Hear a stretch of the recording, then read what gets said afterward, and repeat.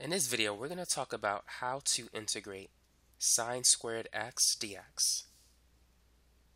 Now you need to know the power reducing formula for sine squared.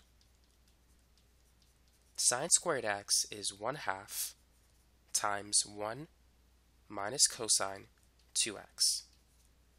So as you reduce the power, the angle doubles from x to 2x.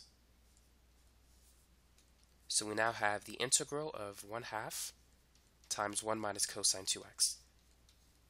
Now what I'm going to do is I'm going to take this constant and just move it to the front.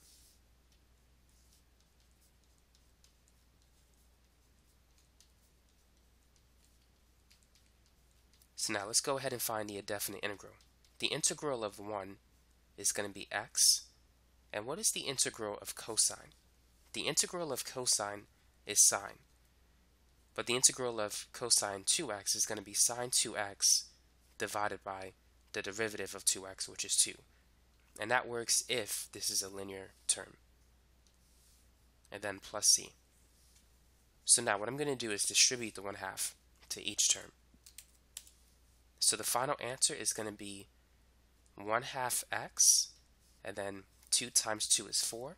So that's going to be 1 fourth sine 2x plus c. So that's the integral of sine squared x.